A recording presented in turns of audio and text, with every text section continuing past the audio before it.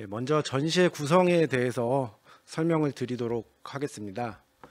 이번 전시는 먼저 앞에 프롤로그라고 해서 호랑이의 생태와 특성, 습성이라는 주제를 꾸려봤습니다. 그 원론적으로 호랑이가 생태적으로 어떤 그 특징이 있는지 그걸 이해해야 문화상에 어떻게 나타나는지를 이해하는 데 도움이 되기 때문에 먼저 전시의 서두에 호랑이의 생태와 습성에 대해서 알 수 있는 코너를 꾸려봤고요.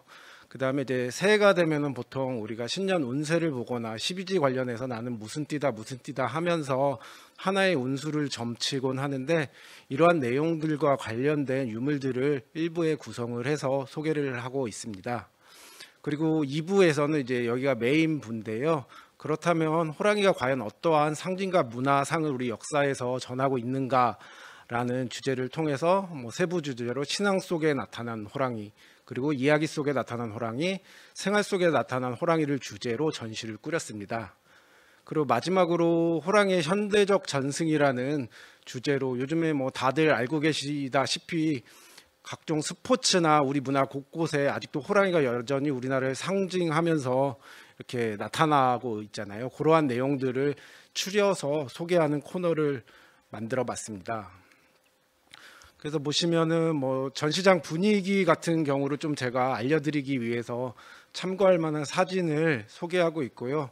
보시는 사진 같은 경우는 이번 전시의 포스터, 도록 등의 메인 디자인에 그 활용된 호랑인데요. 저희의 일러스트 작가가 직접 호랑이 유물에 나타난 것들의 호랑이 얼굴들, 다양한 얼굴들을 보고 그것을 모티브로 그 실감형 영상의 느낌이 나게끔 영상을 만들어서 전시 공간에 구현을 했습니다. 그래서 이 영상이 전시장 전반적인 분위기를 조성해주고 있는데요. 이 부분은 나중에 현장에 직접 오셔서 한번 느껴보시면 좋을 것 같습니다. 그래서 먼저 전시의 취지에 대해서 설명을 드리면 민속박물관 이민년 새해를 맞아서 전시를 준비했는데요. 그 맹수인 호랑이는 생태계의 최상위 포식자라고 누구나 다 알고 있습니다. 이 때문에 호랑이는 예로부터 용맹함을 상징하였고 이를 토대로 우리 민속에서 산신으로 자정되는 시계 그리고 뭐 벽사의 의미를 지는 수신적 역할을 많이 했어요. 그리고 또 옛날 이야기 우리가 잘 알고 있는 옛날 이야기에서 호랑이는 효와 보온을 실천하기도 하고 그리고 때로는 그 꾀에 넘어가서 그 불탕을 먹기도 하는 그런 어리석음을 보여주면서 삶의 교훈을 전해주기도 하는 존재로 그려지는데요. 이러한 내용들을 전시실에서 다 보실 수 있고 그리고 마지막으로 그 저희가 코로나 때문에 많이 힘들어하고 있는데 호랑이가 가지고 있는 문화적 의미처럼 코로나도 막아주고 이민년 한 해에는 이제 코로나를 극복할 수 있는 한 해를 한 해가 되기를 기원하는 바람에서 전시를 준비해 봤습니다. 이게 전시실 입구 전경이고요. 전시실 입구에 들어가시면은 전시의 메인 타이틀을 보실 수 있고 이 전시에 대한 개요를 간략하게 보실 수 있습니다. 그러면 다음부터 본격적으로 이제 세부 전시에 대해서 제가 소개를 드리도록 하겠습니다. 예, 앞서 구성에서 말씀드렸지만 전시의 도입부에는 호랑이의 생태와 습성이라는 주제로 전시를 꾸려놨습니다. 오른쪽에 보이는 그림과 같이 그 실제적인 호랑이의 형상을 우리가 좀 이해할 수 있고 그거에 대한 특징에 대해서 이해할 수 있는 자료들로 전시의 도입부를 꾸려봤는데요. 호랑이는 고양이과 동물로 그 황갈색에 우리가 일반적으로 알고 있는 바탕에 검은색 줄무늬를 전체에 몸 전체에 두르고 있고요. 수명은 대략 한 15년에서 20년 정도 된다고 합니다. 그리고 임신 기간은 보시는 바와 같이 한 100에서 110일 정도 하고 이러한 그 생태적 특징이 있는데 더불어서 호랑이는 육식적 동물이고 신체적 조건이 월등하기 때문에 다른 동물을 사냥하기에 매우 유리한 입장에 있습니다. 그리고 야행성 동물이라고 하고 주로 상해에서 생활을 하기 때문에 예로부터 이제 산에서 호환을 당하는 호랑이에게 피해를 당하는 일들이 많았다고 전해지고 있는데요. 그렇지만 현재에서 우리가 생활에서는 호랑이를 볼 수가 없죠. 동물원이나 가야 볼 수 있지. 그거는 뭐 일제 강점기 그 해수구제 정책 같은 걸로 해서 일제에서 호랑이가 많이 멸, 그 몰살되기도 했고 그거보다 앞서선 조선 시대의 차코갑사라는 호랑이를 잡는 일종의 특수부대를 정기적으로 운영하면서 호랑이가 많이 없어졌다고 합니다. 가장 근본적인 이유는 물론 호랑이의 서식지가 없어진 것들이 가장 큰 이유가 되겠는데요.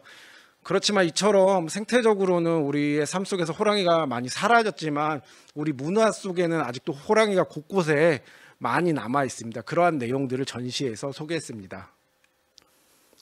예, 지금 말씀드린 이게 그 전시 도입부 프롤로그의 그 모습인데요. 오른쪽 그림 같은 경우는 그 유명한 그림이에요. 그 부분은 뒤에서 제가 자세하게 설명을 드리겠습니다. 그래서 도입부에서 먼저 왼쪽 부분에 보시면 산 모양의 형태의 구조물들이 있는데요. 전시 공간을 디자인할 때 호랑이가 있는 곳이다 보니 저희가 첩첩산중이라는 모티브를 통해서 전시 공간을 구현해 보자는 아이디어를 냈습니다. 그래서 그러한 부분들을 입체적으로 구현한 부분이고요. 세부적으로 들어가서 유물 설명을 하면 이 유물 사진이 이 그림이 이번 전시에서 가장 어떻게 보면은 실제적인 호랑이 모습을 담고 있는 그림이라고 볼 수 있는데요. 그 이 그림과 관련해서 이 그 우석 황종화라는 인물이 그림을 그렸습니다. 20세기 그초 정도에 그린 것으로 추정되는데요.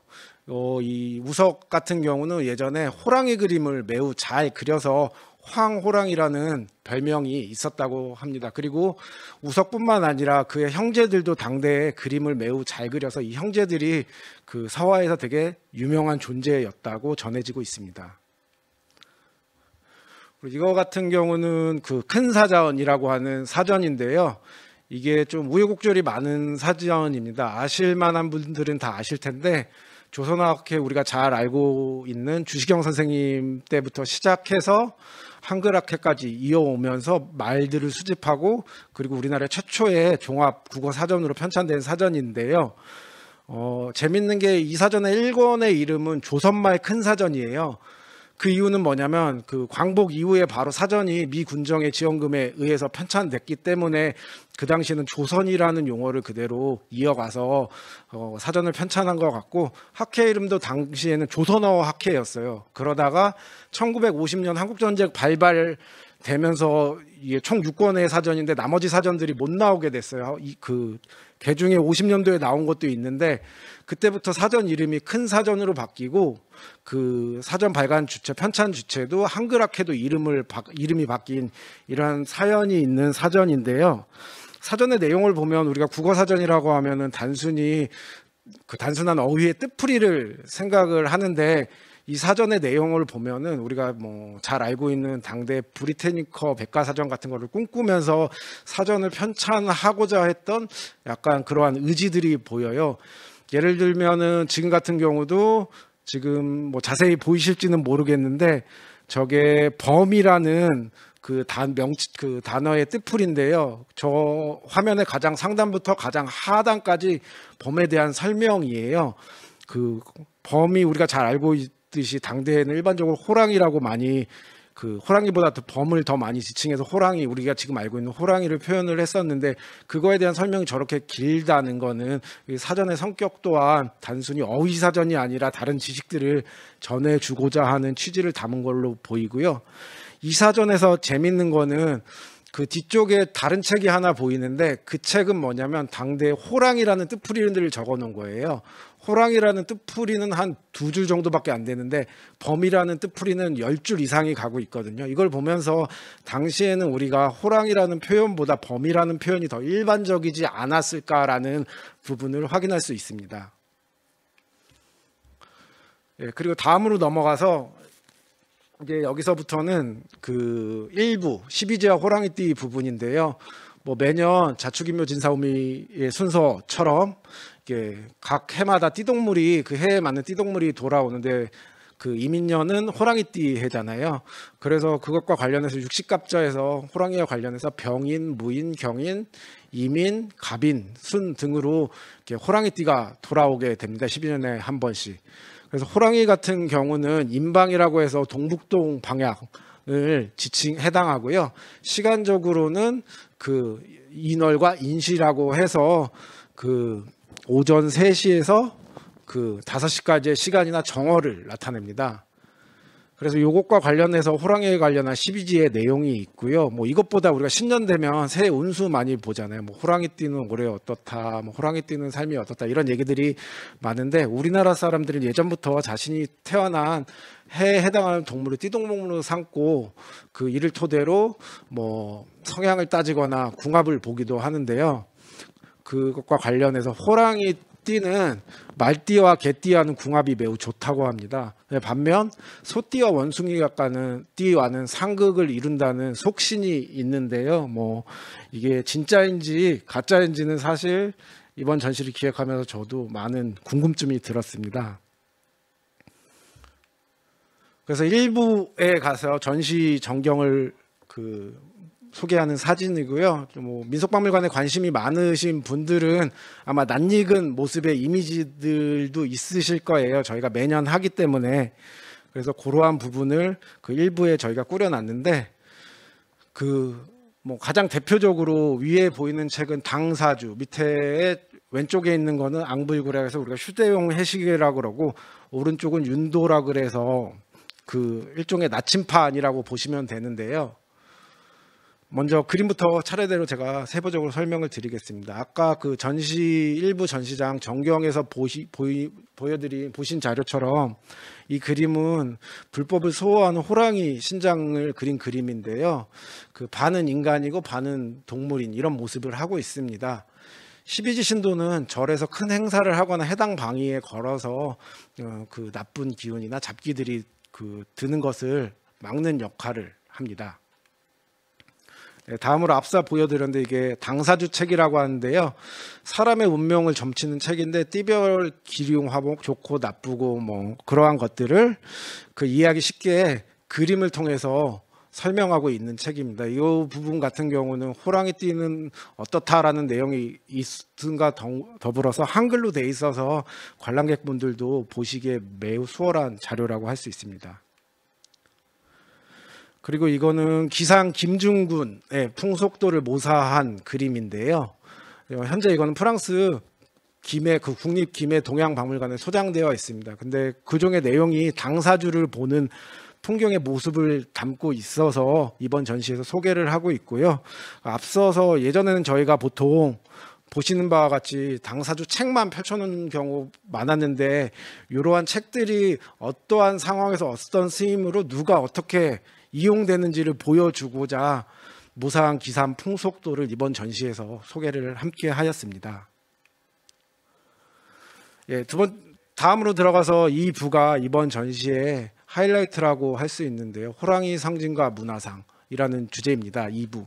사실 뭐 전시 타이틀을 할 때 예전에는 약간 은유적이나 뭔가 비유적으로 문구들을 착안해서 만들곤 했는데 이번 띠전에서는 최대한 직관적으로 한번 전해 보자는 의도에서 좀 정직하게 제목들을 정했습니다. 그래서 2부의 정, 제목 역시 호랑이 상징과 문화상이라는 주제로 그것과 관련된 내용들을 어, 볼수 있는 곳이구나라는 소개를 하기 위해서 타이틀을 잡았고요. 그래서 이것과 관련해서 호랑이는 예로부터 우리 민속에서 민간 신앙이나 구비 문학의 다양한 모습으로 등장을 합니다. 뭐 산신으로 자정해서 마을을 지켜주기도 하고 그림이나 부적에 등장해서 집안의 액을 막아주기도 합니다. 제가 오전에 인터뷰를 했는데 이제 한 기자분이 액이 어떤 의미인지 좀 쉽게 설명을 해달라는 질문을 하시더라고요. 그래서 간단히 액은 나쁜 기운이라고 통칭하면 좋을 것 같다고 설명을 드렸는데 말씀드린 것처럼 그 나쁜 집안에 들어오는 나쁜 기운을 호랑이가 막아준다는 의미로 이해하시면 될 것 같고요. 또 상장례라고 해서 예전에 상여 장식 우리가 뭐 꼭두나 모구 시림용이라고 부르는 것에 호랑이를 탄 사자를 이렇게 장식을 해놓는데요. 거기에서의 호랑이는 이승과 저승을 연결해주고 망자를 저세상으로 인도해주는 역할을 합니다. 그리고 또 뭐 호석이라고 해서 무덤가에 호랑이 돌로 조각한 호랑이 상을 세워놓기도 하고요. 이처럼 전반적으로 호랑이는 나쁜 것들을 막아주는 지켜주는 그러한 역할을 하고 있다고 이해하시면 됩니다. 이는 호랑이의 용맹함 그런 생태계적 특징에서 기인한 것으로 생각이 됩니다. 그리고 또 이와 관련해서 재밌는 게 우리 옛날 이야기라고 하는 설화나 전래동화 속에 호랑이도 많이 등장을 하는데요. 뭐 영물로 인식되면서 효를 신철하기도 하고 은혜를 갚는 모습을 보여주기도 합니다. 아까도 말씀드렸지만 때로는 어리석은 모습을 보여주면서 공경에 빠지기도 하는데요. 이처럼 우리 문화 곳곳에는 호랑이가 많이 숨쉬고 있고 아직도 그러한 많은 내용들이 저희한테 전승되고 있습니다. 그래서 이 사진 같은 경우는 2부의 전경 사진이에요. 아까 전시 도입부에서 보셨던 그 산의 반대면이라고 생각하시면 되는데요. 이번 전시 공간 자체가 중앙에 산들을 배치해 놓고 그 산들, 산을 한 바퀴 돌면서 각 불을 볼 수 있게끔 꾸려 놨습니다. 나중에 저희 박물관에 오셔서 전시를 관람하실 때 그 부분도 좀 주안점을 두고 보고 주안점을 두고 관람하시면 재밌으실 것 같고요. 네, 그래서 먼저 2부는 저희가 가장 중요히 다루는 주제이기 때문에 세부적으로 주제를 나누고 있습니다. 가장 먼저 신앙과 관련된 호랑이에 대해서 주제를 다루고 있는데요. 네, 호랑이 하면은 민속에서 가장 그 대표적으로 신앙적으로 언급되는 게 산신에 대한 언급입니다. 보시는 산신 보시는 그림은 산신도라 그래서 산신 제당이나 산신각 이런 곳에 그 걸어놓고 모시는 그림인데요. 어, 이번 전시에서 이 그림이 좀 그 주목을 해야 되는 게 출처가 분명하다는 점입니다. 보통 그 박물관들에서 소장하고 있는 산신도 같은 경우는 출처가 불분명한 경우가 많아요. 근데 이 산신도 같은 경우는 충남 부여 은산에서 지내는 은산 별신제라는 그 마을 제사에서 사용하던 산신도입니다. 그 시기는 한 1890년대 정도로 추정이 되고요. 그뭐 부연 드리면 은산별 신제 같은 경우는 그 제사 자체가 현재 국가무형문화재로 지정돼 있습니다. 거기에 쓰였던 산신제이기 때문에 의미가 크다고 볼 수 있고요. 그림적으로 보면은 안에 백호도 그려져 있고 뭐 불로초도 그려져 있고 복숭아도 그려져 있는데 그것과 관련한 뭐 장수 그리고 또 뭐 기본적으로 산신이 하는 역할 들에 대한 의미를 전달하고 있다고 합니다. 어떻게 보면은 근데 그런 부분보다 이제 호랑이에 집중을 해야 되는데 왜 그러면 산신도에 호랑이가 나타나느냐 이러한 궁금증이 생길 수가 있을 것 같습니다. 예전에 그 초창기 민속 연구의 내용들을 보면은 예전에는 호랑이 자체가 산신이었다는 설들이 있습니다. 후대로 내려오면서 호랑이는 그 산신 자체가 아니라 산신의 사자, 즉 산신을 보좌하는 존재로 이렇게 많이 그려지고 있다는 학계의 이야기가 있고요. 더불어서 예전에 산신의 성별에 대해서 논한 음, 그 연구들도 있는데 태초에는 그 뭐 이런 시기에는 호라 산신의 성별 자체가 여성이었다는 설이 지배적입니다. 후대로 오면서 점점 그러한 성별이 남성화됐다는 학계의 설이 있, 있 는데 그러한 내용들과 관련해서 산신도를 좀 바라보신다면은 좀 더 흥미있는 전시가 될 수 있을 것이라고 생각합니다. 예, 보시는 것 같이 뭐 산신도 형태가 저희가 모이는 신체 자체가 그림이 될 수도 있고 그 신상이 될 수도 있고 산신과 관련된 호랑이에 대한 다양한 그 유물들이 현재도 전승이 되고 있고 말씀드린 것다시피 여기서 호랑이를 안, 깔고 앉고 있잖아요. 앉아 있잖아요. 이러한 부분들이 산신의 사자로 많이 얘기되는 부분들이고요. 더불어서 그러면 산신당은 어떻게 생겼는지 궁금해 하실 것 같아서 산신도와 산신당 근처에 어, 과거 일제강점기에 그 성남 송석화 선생이 촬영한 산신당 사진들을 저희가 같이 소개를 하고 있습니다. 그 성남 송석화 선생은 우리나라 최초의 민속학자로 일컬어지는 분인데요. 이것과 관련해 가지고 당시에 일본인 민속학자들이 뭐 찍거나 수집한 사진들을 최종적으로 송석화 선생이 수집을 해서 현재 민속박물관에 전량을 다 기증을 예전에 한참 전에 했고 그러한 내용들을 찾다 보면 이렇게 산신 그 당도 찾을 수 있고 재미난 사진들을 많이 찾을 수 있습니다. 단순히 뭐 옛날 건물이라고 생각하시지 마시고 그러한 스토리들을 함께 그 인지하면서 전시를 보신다면 좀 더 의미가 있을 것 같습니다. 예, 다음으로는 이게 호랑이를 타고 있는 인형이라고 제가 설명을 해놨는데요. 앞서 말씀드리다시피 이게 예전에 장례식 때 썼던 상하의 장식들입니다. 이거 명칭은 뭐 앞서 말씀드렸지만 모구나 꼭두 시림용 다양합니다. 그래서 좀 이해하기 쉽게 호랑이를 타고 있는 인형이라고 설명을 드리면서 한자로 뒤에 기호 인형이라고 써 있어요. 호랑이를 타고 있는 인형이라는 한자거든요. 그러한 인형들인데 이러한 인형들이 망자를 그 뭐 안내를 해주고 이승과 저승도 연결하고 그, 그 장래에 있어서 굉장히 중요한 역할을 하고 의미가 있는 유물이기 때문에 여러 그 상여 장식들을 모아가지고 전시에서 소개를 하고 있고요. 그리고 이제 액을 맞는 거 아까 나쁜 미, 기운을 막는 거라고 하면 우리가 대표적으로 부적을 생각하잖아요 민속학적으로 그래서 이제 왼쪽에 있는 부적 같은 경우는 이제 나쁜 기운을 막기 위해서 호랑이 형상을 찍은 부적입니다. 그리고 오른쪽 같은 경우는 중앙에 크게 호랑이가 차지하고 있고 그 오른쪽 상단에는 매가 그려져 있어요. 예전에 그 삼재 부적이라고 해서 삼재 부적에는 일반적으로 호랑이와 매 도상을 찍는 경우가 많습니다. 그러한 것을 찍는 부적판을 이번 전시에서 함께 소개하고 있고요. 이들은 다 나쁜 액을 막기 위해서 과거에 쓰였던 유물들입니다.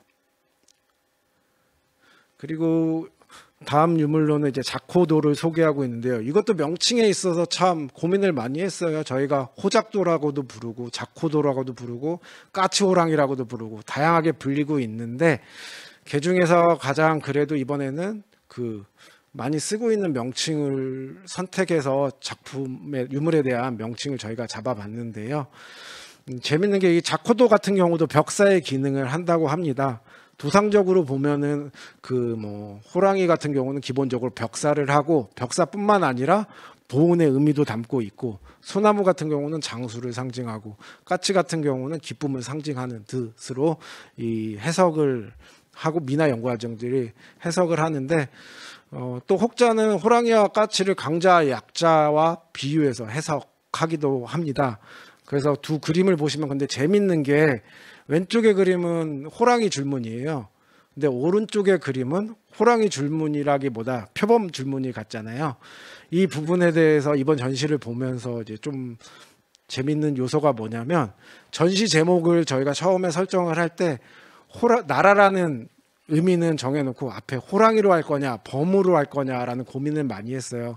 그러다가 대중적으로 그래도 호랑이가 보다 많이 현대 시대에는 사람들이 인지를 하고 있기 때문에 호랑이 나라라는 그 제목을 잡았는데 그 아까 조선 큰 사전 조선말 큰 사전에서 범과 호랑이의 그 뜻풀이를 제가 소개를 했는데 예전에는 그 호랑이와 그 표범을 통칭해서 범으로 많이 불렀다고 합니다. 그렇기 때문에 그 자코도 같은 경우도 뭐 예를 들어서 표라는 표범을 한자를 쓰는데 작표도 뭐 이런 식으로 안 쓰고 작코도라고 통칭해서 과거부터 불러왔고요. 그러한 부분이 명칭이 지금까지 그 전에 내려온다고 생각하시면 되고 이것과 관련해서 전시장에 그 호피도라는 큰 병풍이 그려져 있는데 그 소개되어 있는데 그 병풍 역시 무늬가 그 호랑이 줄무늬 무늬가 아니라 표범의 무늬예요. 근데 이 미나를 연구하는 분들의 말씀을 들어보면 일반적으로 앞서 말씀드린 의미 때문에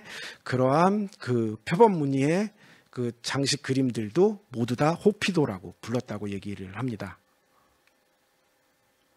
그리고 이거 같은 경우는 이제 호환을 저희가 좀 설명 소개해드리고자 어, 소개한 사진인데요. 뭐 이 사진뿐만 아니라 여러 사진들이 전시에서 슬라이드 쇼 형식으로 소개가 되어가고 있, 되고 있는데요.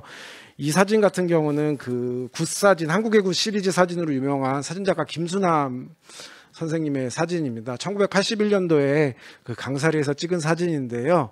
그 뭐 경북 포항에 구룡포에 강사리라는 마을이 있어요. 거기서부터는 예전부터 강사리 벙굿을 지내왔는데 뭐 굿의 모든 내용이 다 호환을 방지하는 내용은 아니고 마을의 풍어 안전을 기원하는 전시를 아니 그 구슬 베이스로 깔고 굿의 후반부에 범굿이라는 거리가 따로 있습니다. 근데 이 범굿의 내용은 그 호환을 방지하고 그 호환으로 죽은 사람을 위로해주는 내용인데 그러한 맥락을 이해하고 전시 현장에서 이 사진을 어, 감상하신다면은 보다 재미를 선사할 수 있을 것 같습니다. 예, 그리고 이거 같은 경우는 이제 사인교 가마덕계라고 돼 있잖아요. 그 예전에는 혼례를 마친 신부가 시댁에 타고 가마를 갈 때 그 위에 호랑이 가죽을 직접 덮거나 호랑이 가죽 무늬가 있는 덮개를 덮었다고 합니다. 그 이유는 역시 액을 막기 위해서죠. 그래서 그러한 부분에 대한 유물을 전시장에서 소개하고 있고 당시에 실제로 우측에 보시는 사진들이 일제강점기 20세기 초에 찍었던 사진 엽서들인데 내용을 보면 실제 가마 지붕에 호랑이 가죽을 덮고 있습니다. 그러면서 뭐 호랑이가 구하기가 어려운 시기 그리고 뭐 호랑이는 옛날부터 호랑이 가죽은 귀했는데 그런 시점이 있었겠죠. 그러면서 그러한 의미를 계속 지속하기 위해서 저런 가마 담요나 덮개 형태로 그런 그 목적물들이 바뀌었을 거로 생각이 되고요. 그리고 이거 같은 경우는 위에는 호건이라고 해서 그 남자아이가 5, 6세까지 쓰는 쓰개인데 이마 부분에 호, 보시다시피 호랑이의 눈이나 눈썹, 수염, 이빨 등이 표현이 돼 있어요. 그래서 이거를 쓰고서 애한테 드리울 나쁜 기운을 막고 아이가 무병장수하기를 바라는 그 마음으로도 씌었다고 합니다. 같은 의미로 밑에는 호랑이 발톱 놀이개인데 저 발톱 놀이 호랑이 위에가 그 뾰족한 부분이 호랑이 발톱을 상 그 형상화한 거라고 합니다. 실제 발톱은 아니고요. 그래서 뭐 여자의 저고리나 고름 등에 차서 역시 액을 막으면서 장식의 효과를 그 누리고자 그 애용되었던 장신구입니다.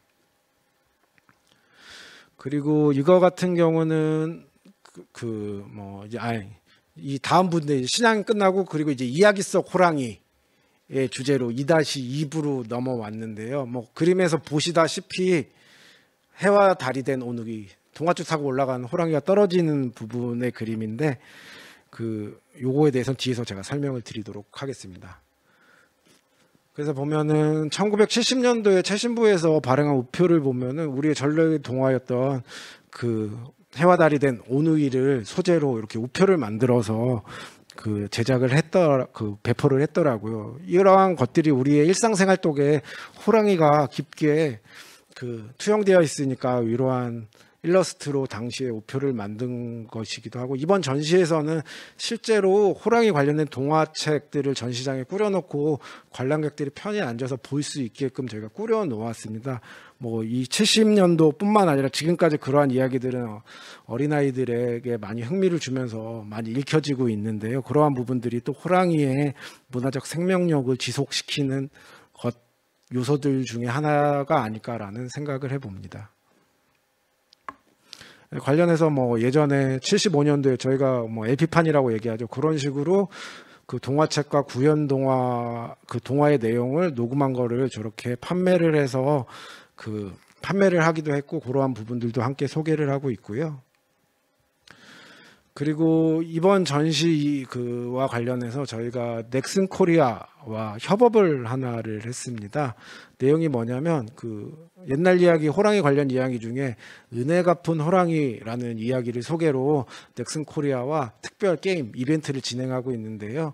바람의 나라 연이라는 모바일 게임입니다. 뭐 기존에 바람의 나라라는 게임이 있었는데 뭐 그건 스테디셀러이기 때문에 그거에 또 이어가지고 모바일용으로 만든 게임인데 이 안에서 은혜 갚은 호랑이의 이야기의 줄거리를 토대로 게임에 그 저희가 보통 in-game이라고 하는데 그 안에 미션 아니면 게임 내용 스토리를 가미해서 전시 기간 동안 어 그 한정해서 쿠폰도 나눠주고 그리고 게임도 진행하는 식의 협업 이벤트를 해봤으니까 관심 있으신 분들은 그, 그 게임 속에서 그러한 부분을 찾아보는 것도 전시와 연관해서 재미가 있을, 있겠고요.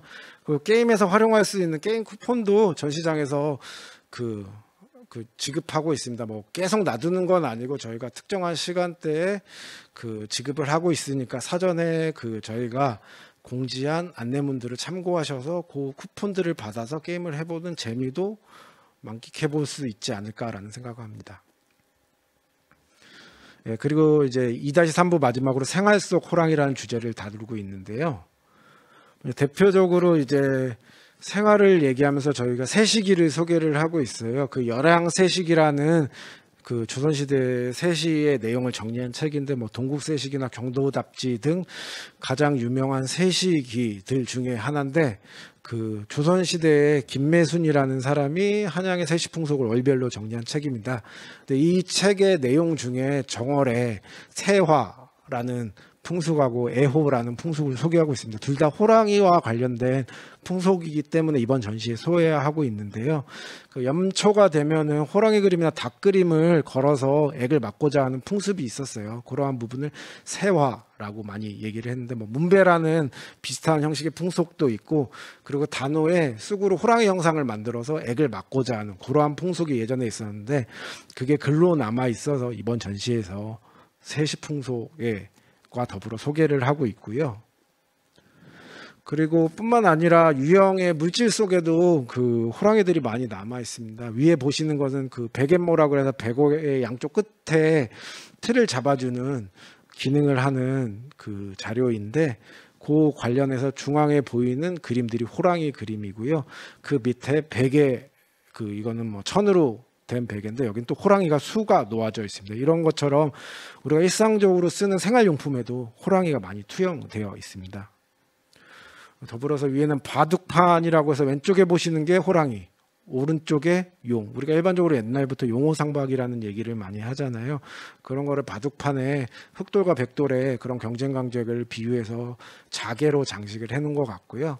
그 아래는 소반 같은 경우는 작은 상인데 그 상 다리 모양이 그 호랑이 다리와 비슷하다고 해서 호족반이라고 불리는 상입니다. 이처럼 그 호랑이가 우리 문화 곳곳에 투영되어 있기 때문에 생활 곳곳에 호랑이와 관련된 장식이나 명칭, 형태들이 투영되어 있는데 이러한 것들을 이번 전시에 오시면은 모두 관람하실 수 있습니다. 그리고 마지막 3부로 들어가서 이제 호랑이의 현대적 전승이라는 주제로 전시를 꾸려봤는데요. 오른쪽에 보이는 사진들, 인형들 너무 다 익숙한 사진이죠. 이러한 그 예로부터 호랑이는 우리나라를 상징하는 동물이었고 지금도 그 명맥을 잇고 있는데요. 특히 스포츠 국제 경기에 대해서 호랑이는 우리나라를 상징하면서 많은 역할을 하고 있습니다. 뭐 더불어서 학교나 군대에서도 상징하는 상징물로서 많이 채택이 되고 있는데요. 그래서 3부 전시장 전경은 저희 기획전시 2에 보면 포켓 공간이 있습니다. 그 내에 뿌렸고 거기에 넥슨 이벤트 공간과 더불어서 현대적 의미의 호랑이들을 저희가 꾸려서 전시의 의미를 소개를 해봤습니다. 그래서 보면은 요거 같은 경우는 우리가 가장 잘 아는 이번 전시에서 제가 고민을 했었는데 설명했을 때 고려대학교를 먼저 써야 되는지 연세대학교를 먼저 써야 되는지 고민이 되더라고요. 이 부분들은 항상 서로 이제 이슈가 있는 내용이라서 우스갯소리로 그래서 뭔가 호랑이 띠전이기 때문에 호랑이 먼저 서술을 했는데 페넌트에 보시면은 호랑이에 대한 상징을 호랑이를 학교 상징으로 채택하고 있는 내용을 볼 수 있고요. 그리고 우리가 맹호 부대 얘기 많이 하잖아요. 월남전, 그뭐 베트남 전쟁에 참전했던 맹호 부대 관련된 그 호랑이 관련된 자료들도 소개를 이번 전시에서 하고 있고요. 더불어서 당대 국군의 날이나 파병 전에 맹호 부대가 퍼레이드를 할 때 풍경들도 영상으로 함께 소개를 하고 있습니다. 그 이거는 그 오스굿이라는 미국의 그 인류학 교수가 쓴 책인데요. 우리나라를 민속 우리나라를 조사하고 민족지를 쓰면서 책을 만들었는데 표지에 역시 호랑이를 일러스트로 넣어놨어요. 외국인의 눈에도 호랑이 자체가 굉장히 한국을 상징한다고 보였으니까 저렇게 쓴 걸로 보이고 이거보다 앞서서 20세기 19세기 그 말에 그 비숍이라는 외국인 이방인이 한국에는 호랑이가 엄청 많고 뭐 예를 들어서 1년에 반은 사람이 호랑이 사냥을 하고 나머지 반은 호랑이가 사람을 사냥한다는 식의 기록도 남겨놨는데 이처럼 외국인의 눈에도 예전부터 우리나라는 이렇게 호랑이 나라로 비춰진 것으로 보입니다.